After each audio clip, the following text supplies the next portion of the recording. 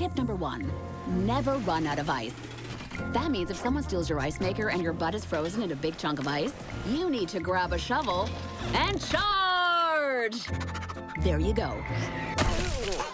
Now for the finishing touch. Nice. So remember, if you're on a date on a hot summer day, you absolutely, positively cannot run out of ice.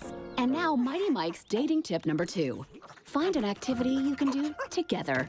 For example, if she offers you a cupcake and you decide to clean up first, hmm. but then you get dirty again, then clean, then dirty. Clean, dirty. Simply trick the raccoons into eating soap and save your date with an activity that you can both enjoy together. Stay tuned for more Mighty Mike's dating tips.